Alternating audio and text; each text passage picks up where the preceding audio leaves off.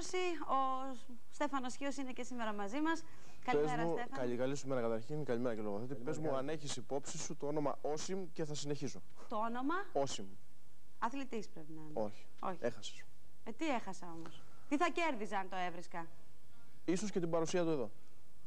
Α, μ- α, αυτό ήταν το όνομα το οποίο είχες υποσχεθεί ότι θα έφερε και δεν ήρθε; Ε, να το αποκαλύψουμε λοιπόν. Ναι, ο κύριος Όσιμ ε, πρόκειται να έρθει σήμερα το πρωί εδώ, στο πρωινό καφέ, αλλά ε, έχει κάποια προβλήματα. Έδωσε χθες μια συνέντευξη που τα είπε σχεδόν όλα. Ε, υπόσχεται βέβαια ότι θα έρθει στο πρωινό καφέ. Ε, τι άλλο να πούμε, να πούμε ότι τον παρουσίασε χθες ο πρόεδρος του Παναθηναϊκού, κ. Βαρδινογιάννης, στους ρεπόρτες του Παναθηναϊκού. Καλή σας ημέρα, κυρίες και κύριοι, και από εμάς. Παρουσιάστηκε λοιπόν ο νέος τεχνικός του Παναθηναϊκού, ο Ήβιτσα Όσιμ, ο τρίτος κατά σειρά τεχνικός μας σε μια πενταετία ε, στους δημοσιογράφους. Ο κύριος Όσιμ είναι 51 ετών, πρώην προπονητής μεγάλης ομάδα της Εθνικής Ιουγκοσλαβία, την οδήγησε στο Μουντιάλ της Ιταλία, την, οδη- την οδήγησε και στο Πανευρωπαϊκό Πρωτάθλημα. Ένας καταξιωμένος τεχνικός, ένας άνθρωπος ο οποίος διακρίνεται για τον ποδοσφαιρικό σκεπτικισμό και τον αυστηρό επαγγελματισμό του. Πάντως ο κύριος Όση μιλούσε χθες το μεσημέρι γαλλικά. Λίγοι δημοσιογράφοι καταλάβαιναν την ίδια γλώσσα και αφού ο μεταφραστής του Κροάτι τεχνικού μετέφραζε τα μισά, ανέλαβε ο ίδιος ο κ. Βαρδινογιάννη τη μεταγλώτηση. Αποτέλεσμα εμείς οι αδαείς όσον αφορά όλες τις ευρωπαϊκές γλώσσε να μην αντιληφθούμε παρά ελάχιστα. Κατά τα άλλα, η συνέντευξη τόσο του Προέδρου όσο και του κ. Όσιμ ήταν πολύ ενδιαφέρουσα. Ο Ηλίας Ξένης έχει το ρεπορτάζ. Δεν είναι ο μάγος, γιατί δεν υπάρχουν μάγοι στο ποδόσφαιρο. Είναι ο άνθρωπος ένας που ξέρει το ποδόσφαιρο και θα προσπαθήσει όσο μπορεί την ομάδα να καταφέρουμε τους στόχους τους οποίους έχουμε της ευρωπαϊκής διακρίσεως και του ελληνικού χώρου. Με τα παραπάνω λόγια, ο πρόεδρος του Παναθηναϊκού, Γιώργος Βαρδινογιάννης, παρουσίασε το μεσημέρι στους δημοσιογράφους τον νέο προπονητή της ομάδας του, τον Κροάτι Ιβάν Όσιμ. Δεν είμαι χωροφύλακας και δεν δουλεύω με δικτατορικό τρόπο. Απλά σέβομαι τους παίκτες εκείνους που αγαπούν την πειθαρχία και τα δίνουν όλα για το καλό της ομάδας. Όσο για τους νέους συνεργάτες του, ο πρόεδρος της Πράσινης ΠαΕ το ξεκαθάρισε. Βοηθός του είναι ο κύριος Γαλάκος, ο κύριος ε, Γραμμός και εν πάση περιπτώσει τους ξέρετε. Ο κύριος Γαλάκος λοιπόν και ο κύριος Γραμμός να δούμε πόσο θα παραμείνουν αυτοί στον Παναθηναϊκό. Στο ρυθμό των μεταγραφικών εξελίξεων είτε θετικών για αυτή είτε αρνητικών κινείται το καιρό αυτό και η ΑΕΚ. Μετά την ανακοίνωση της απόκτησης του Ατματζίδη, γνωστή μεταγραφή, η κυτρινό μαύρη παρέα με τον ίδιο χαρακτηριστικό τρόπο, δηλαδή με τη μέθοδος της παρουσίασης του προσώπου του ποδοσφαιριστή την τελευταία στιγμή στους δημοσιογράφους, ανακοίνωσε τη μεταγραφή του 26χρονου παίκτη της Λάρισας Γιώργου Αγορογιάννη. Ο Ανδρέας Δημάτος παρουσιάζει το ρεπορτάζ μέσω δύο αποκαλυπτικών, δύο αποκλειστικών συνεντεύξεων, μιλώντας με τον ίδιο τον ποδοσφαιριστή, αλλά και με τον νέο ε, αφεντικό της ΑΕΚ, τον κύριο Μελισανίδη, διερευνώντας τις προθέσεις του για το θέμα Μπατίστα. Ο εξάχρονος διεθνής αμυντικός Γιώργος Αγορογιάννης υπέγραψε τετραετές συμβόλαιο, ενώ το ύψος μεταγραφής που δεν ανακοινώθηκε επίσημα έφτασε σύμφωνα με πληροφορίες στα 75 εκατομμύρια. Θέλω να σε ρωτήσω γιατί προτίμησες σαν ομάδα την ΑΕΚ να συνεχίσει την καριέρα σου από τον Ολυμπιακό. Ε, πιστεύω ότι το είχα πει και στο παρελθόν αυτό. Ε, προτίμησα την ΑΕΚ ε, πρώτα απ' όλα για τον ε, πάρα πολύ καλό προπονητή που έχει και φυσικά νομίζω ότι το ότι ήρθα στην πρωταθλήτρια Ελλάδος ε, τα λέει όλα. Πιστεύεις εσύ ότι έχεις τα φόντα να πρωταγωνιστήσει με τη φανέλα της ΑΕΚ και σε Ελλάδα αλλά και σε Ευρώπη; Κάθε ποδοσφαιριστής όταν πάει σε μια μεγάλη ομάδα νομίζω ότι πιστεύεις στον εαυτό του. Ε, το αν δεν πιστέψει κάποιος, ε, νομίζω ότι θα κάνει ένα φοβερό λάθος γιατί σε τέτοιες ομάδες για να επιβιώσεις πρέπει να δείξεις ε, όλη την αξία που έχεις και όλο το ταλέντο. Πόσο τιμητικό είναι για σένα ότι ο Ντούσαν Μπάγεβιτ σε ήθελε για την ε, αμυντική γραμμή της πρωταθλήτριας ομάδας Ελλάδος; Ναι, ε, είχα πει ότι έπαιξε πάρα πολύ σημαντικό ρόλο το ότι με ήθελε ο κύριος Μπάγεβιτς στην ΑΕΚ. Ε, νομίζω ότι κάθε ποδοσφαιριστής, ε, ε, αν θέλει να κάνει μια μεταγραφή, δεν πρέπει να σκέφτεται ε, ούτε αν τον θέλει ο πρόεδρος, ούτε αν τον θέλει ο κόσμος. Νομίζω ότι πρωταρικό στοιχείο είναι να σε θέλει ο προπονητής. Πιστεύω ότι αυτός κρίνει πιο σωστά από όλους και πιστεύω ότι ε, αυτός ε, διαλέγει τους παίχτες ε, που πιστεύει ότι μπορεί να βοηθήσουν την ομάδα. Η ΑΕΚ φαίνεται διαθετημένη να κρατήσει τον Ντανιέλ Μπατίστα στη δύναμή της; Κοιτάξτε, επιτρέψτε μου να μην απαντήσω. Δεν θέλουμε τίποτα περισσότερο από όσα είπατε πριν όσον αφορά το ότι ο Μπατίστα θα μείνει στην ΑΕΚ και ότι αν υπάρχει περίπτωση για τρίτο ξένο, ο Μπατίστα θα γίνει Έλληνας. Αυτό θέλουμε, δεν θέλουμε τίποτα παραπάνω. Ναι, πιστεύω ότι ο Μπατίστα θα μείνει Έλληνας και ενδεχομένως η, η ΑΕΚ να διεκδικήσει τρίτο αλλοδαπό παίκτη. Μάλιστα, να φύγουμε από την ΑΕΚ κυρίες και κύριοι. Μέσα στην επικαιρότητα για μία ακόμα φορά ο Αμερικανός θηριώδης μπασκετμπολίστας του Άρη, Ρόι Τάρπλεϊ.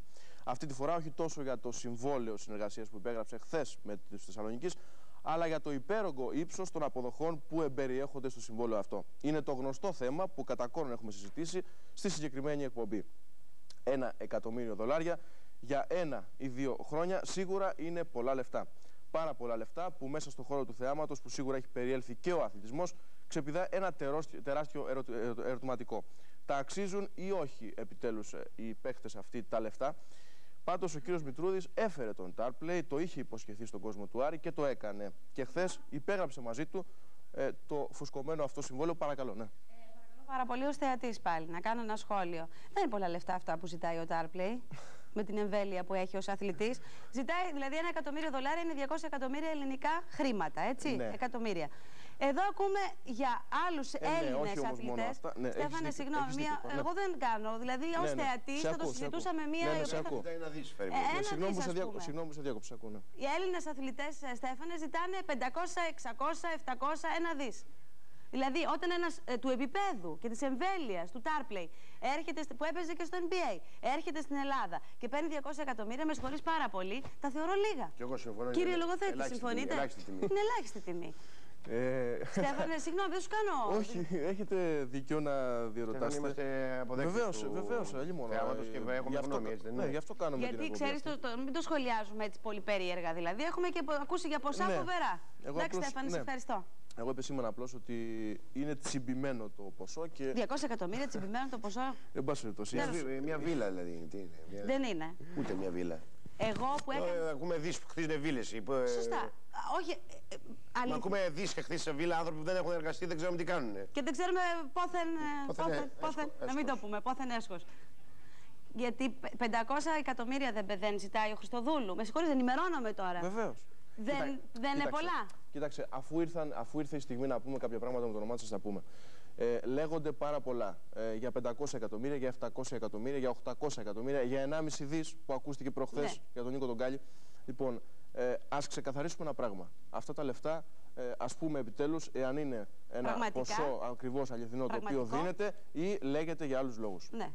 Εντάξει, αυτό ας το Και να ξεκαθαρίσουμε. λέγεται και για άλλους λόγους, Στέφανε. Καταλαβαίνεις τι θέλω να σου πω. Καταλαβαίνω Είναι σαφώς. πρόκληση για τον Είναι κόσμο, πρόκληση, ακριβώς. το έχουμε πει. Λοιπόν, ας αφήσουμε λοιπόν Αλλά αυτά. ο Πάσπαλια όταν ήρθε στην Ελλάδα, Ναι. στον Ολυμπιακό, πόσα εκατομμύρια είχε πάρει; Τίποτα άνθρωπο. Εκεί δεν κάναμε Είχε κανένα πάρει, σχόλιο ένα, είχε ξαφνικά. πάρει ας ένα πούμε. ποσό, αλλά όχι το ποσό βέβαια αυτό που ακούγεται και το, ε, το ποσό αυτό, το- συγκριτικά με τα ποσά αυτά τα οποία οποίος είναι και ακούγονται, μεγάλος είναι παίκτης, αστρονομικά. πολύ μεγάλος Εν πάση περιπτώσει, ε, εκείνο που πρέπει να πούμε είναι ότι εγώ απλώς επισημαίνω ότι κινείται και αυτό το ποσό ε, στο, σε όλο αυτό το ηλικιώδες πλαίσιο που κινούνται τα Ναι. ποσά του- των μεταγραφών. Όχι όμως τα αυτό νούμερα ήθελα που να είχαμε πω. σχολιάσει, Από εκεί και Στέφανε. πέρα, ναι, από εκεί και πέρα.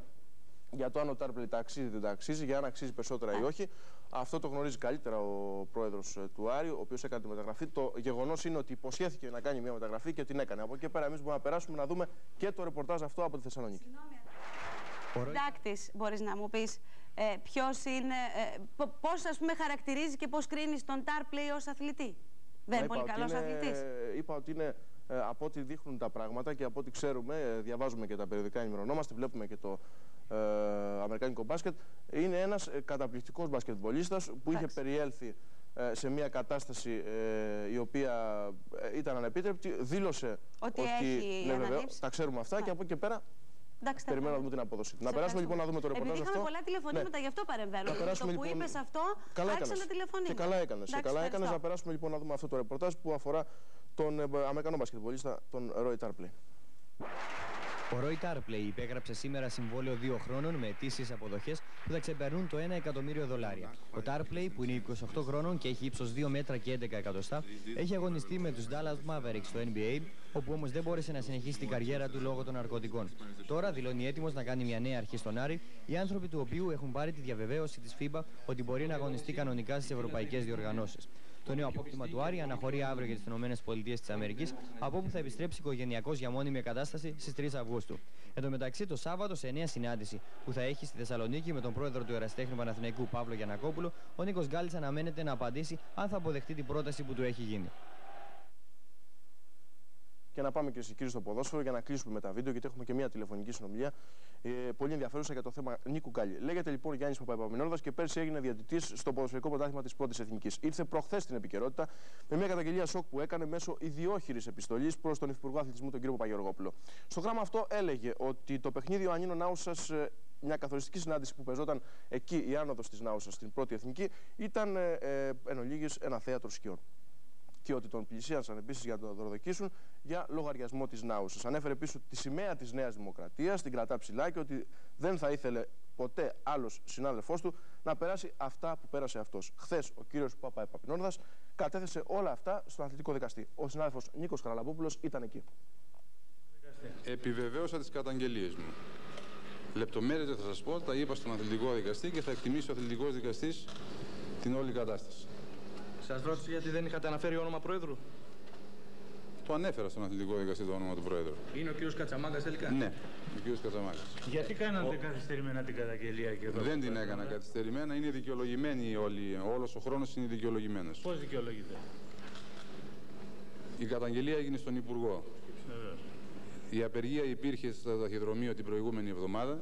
Ναι. Έπρεπε να στείλω την επιστολή αυτή στον Υπουργό συστημένη. Λόγω της απεργίας δεν μπορούσε να σταλεί.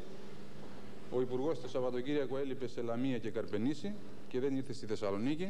Την Δευτέρα τον τηλεφώνησα το πρωί και μου είπε ο Υπουργός ότι να περιμένω την Παρασκευή που θα ανέβει πάνω για να του δώσω την καταγγελία. Κύριε Παπαγιανόρδα, έχετε να μπορείτε να αποδείξετε αυτά τα οποία λέτε στην καταγγελία; Θα τα εκτιμήσει ο αθλητικός δικαστή, παιδιά, τίποτα. άλλο. Γιατί, γιατί, Σας ρώτησε γιατί δεν γιατί περίμενε τον κύριο Παπαγεωργόπουλο για να κάνει την καταγγελία; Ναι, γιατί άφησε τόσο. Ε, είπε ότι καθυστέρησε λόγω του ότι δεν τον βρήκε επάνω στο. Το, άλλωστε έχει δώσει μια συνέντευξη λέω, στο φως, στο οποίο τα εξηγεί όλα σήμερα.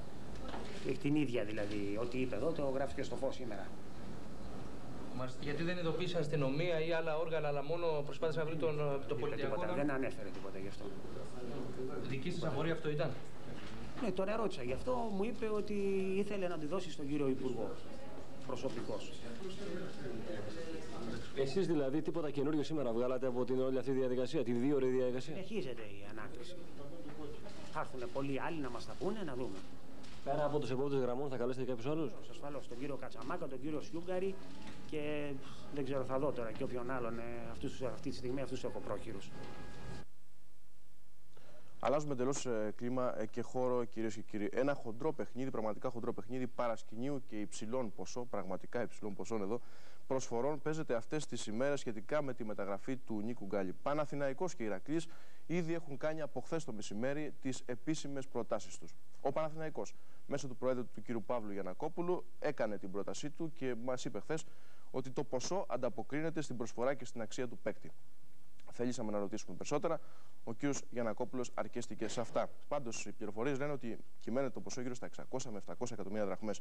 Ο Ηρακλής έκανε επίσης την προσφορά του γύρω στα 150 εκατομμύρια και άλλες κάποιες διευκολύνσεις στον Νίκο Γκαλιό. Ο Παναγιώτης Χορόζογλου είναι στη τηλεφωνική γραμμή, ο ανταποκριτή Θεσσαλονίκη, ο οποίος θα μας ενημερώσει. Ελπίζω να μας ακούει ο Παναγιώτης Χορόζογλου. Καλημέρα από τη Θεσσαλονίκη. Καλή σου μέρα, Παναγιώτη. Νομίζω είναι και το θέμα που μας ενδιαφέρει και ήδη γι' αυτό ε, είσαι στο τηλέφωνο. Θέλω να μου πεις, ε, Παναγιώτη, σε λίγες αδρές γραμμές, ποιες είναι οι μέχρι τώρα προθέσεις του Νίκου Γκάλη για να, αλλάξουμε, για να φύγουμε από την Αθήνα και να πάμε στη Θεσσαλονίκη; Ποιες είναι λοιπόν οι διαθέσεις του Νίκου Γκάλη όσον αφορά την μεταπίδησή του σε κάποιον Αθηναϊκό σύλλογο; Παναγιώτη, τι λένε οι τελευταίες πληροφορίες; Αν θέλουμε να είμαστε ακριβείς, δεν μπορούμε να ξέρουμε σίγουρα ποιες είναι οι πραγματικές προθέσεις του Νίκου Γκάλη. Δηλαδή για το ποια ομάδα θέλει ο ίδιος ο παίκτης να συνεχίσει την καριέρα του. Ε, αυτό που μπορούμε να πούμε με σιγουριά είναι ότι τον Νίκο Γκάλη δεν θα τον πείραζε να συνεχίσει και στον Άρη, αλλά όχι με τις ε, συνθήκες που διαμορφώθηκαν μετά από τη συνάντηση που είχε με τον ε, πρόεδρο του Άρη, τον κύριο Μητρούδη. Σήμερα θα πρέπει να σημειώσουμε ότι ο μεγάλος αστέρας του ελληνικού μπάσκετ έχει συνάντηση με τον πρόεδρο του Ηρακλή, τον κύριο Χαΐτογλου. Μια συνάντηση η οποία ίσως αποβεί καθοριστική, αλλά αυτό που είμαστε σε θέση να γνωρίζουμε είναι ότι ο Νίκος Γκάλης σίγουρα δεν θα βιαστεί να πάρει την απόφασή του. Μάλιστα. Ε, θα ήθελα να ρωτήσω, Παναγιώτη, σε ποιο επίπεδο ε, πια παίζονται οι επαφές με τον Νίκο Γκάλη. Ξέρουμε ότι και ο Ολυμπιακός ε, είναι στο παιχνίδι, αν και προσεκτικά ε, κινείται προς την κατεύθυνση της μεταγραφής του Νίκου του Γκάλη, αλλά και ο Ηρακλής, ο οποίος παρέχει κάποιες σημαντικές διευκολύνσεις στον παίκτη. Αν αναλογιστούμε ότι ίσως οι προθέσεις του Νίκου Γκάλη είναι να παραμείνει στη Θεσσαλονίκη. Έχουμε κάτι μέσα από το παρασκήνιο, μέσα από τις συζητήσεις που γίνονται εκεί στα πηγαδάκια της Θεσσαλονίκης, στα γνωστά πηγαδάκια; Σίγουρα τα γνωστά πηγαδάκια προσφέρουν πολλές πληροφορίες που δεν βγαίνουν στην επιφάνεια ή αν θέλετε από τις εφημερίδες. Αλλά νομίζω ότι αυτό που πρέπει να σημειώσουμε από πλευρά Ηρακλήνου ότι έχει το μεγάλο ατού ότι προσφέρει στον παίκτη την παραμονή στη Θεσσαλονίκη. Και το κυριότερο ότι θα παραμείνει κοντά στις επιχειρήσεις τους, τις οποίες να μην κρυβόμαστε, ε, ο Νίκος Γκάλης από εδώ και πέρα θα ενδιαφέρεται νομίζω περισσότερο για τις επιχειρήσεις του παρά για την ε, ατομική του καριέρα που αν μη τι άλλο είναι γνωστή τα τελευταία χρόνια. Όσον αφορά τον Ολυμπιακό, τώρα έγιναν κάποιες επαφές στην Θεσσαλονίκη, αλλά όχι ε, μέσω Προέδρου του Ολυμπιακού, μέσω του μάνατζερ του Ολυμπιακού, του Γιάννη Γιαννάκη, οι οποίες όμως έχουν φτάσει σε αρκετά καλό επίπεδο, χωρίς όμως να υπάρχει τελική συμφωνία ή προσφορά από τον Ολυμπιακό. Μάλιστα. Παναγιώτη, κάτι τελευταίο να- για να τελειώνουμε. Ε, θα ήθελα να σε ρωτήσω, ε, είναι, αληθεύει το γεγονός ότι ο κύριος Γιανακόπουλος, ο πρόεδρος του Παναθηναϊκού, θα έχει κάποια ε, συνάντηση με τον Νίκο τον Γκάλη το Σάββατο, όπως είχε και την προηγούμενη Κυριακή. Αν αληθεύει ότι υπήρχε συνάντηση του κύριου Γιανακόπουλου την προηγούμενη Κυριακή με τον Νίκο Γκάλη. Το σίγουρο είναι ότι η συνάντηση Γιανακόπουλου Γκάλη δεν έγινε την προηγούμενη Κυριακή στη Θεσσαλονίκη. Αλλά βέβαια δεν μπορούμε να ξέρουμε και αν θα γίνει το Σάββατο. Πάντως ήδη έχουν γίνει δύο συναντήσεις μεταξύ των δύο ανδρών. Όντως ο κ. Γιανακόπουλος πρόσφερε ένα ποσό που όπως είπες και εσύ προλίγο Στέφανε ανταποκρίνεται στην αξία του Γκάλη, ένα μυθικό ποσό για τα ελληνικά δεδομένα. Αλλά δεν μπορούμε να ξέρουμε τι θα γίνει στη συνέχεια. Μάλιστα. Παναγιώτη Χορόζογλου, να σε ευχαριστήσω πάρα πολύ. Καλημέρα στη Θεσσαλονίκη. Καλημέρα από τη Θεσσαλονίκη στην Αθήνα. Αυτά κυρίες και κύριοι από εμάς. Ε, πήραμε αρκετό χρόνο. Πήραμε αρκετό χρόνο. Ευχαριστούμε πάρα πολύ ε, την κυρία Κορομιλά για τον χρόνο αυτό. Νομίζω όμως ότι ε, δώσαμε μια σφαιρική ενημέρωση των χθεσινών γεγονότων αλλά και αυτών που θα ακολουθήσουν το Σαββατοκύριακο. Ναι, Στέφανε, σε ευχαριστούμε πάρα Και πολύ. εγώ.